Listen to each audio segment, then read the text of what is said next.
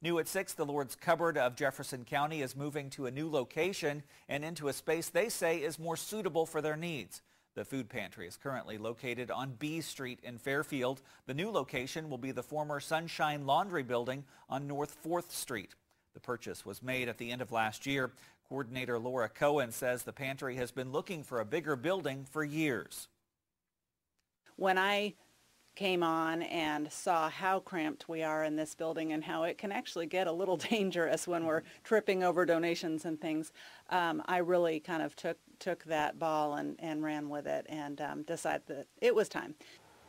Cohen says the new building will provide a more centralized location for clients to get food. The entire building is being repurposed for the food pantry operation. It's projected to open sometime late this summer. To learn how you can donate to help pay for the remodeling, visit our website, ktvo.com. Between now and March 18th, all donations will be matched by the Jefferson County Farm Bureau up to $10,000.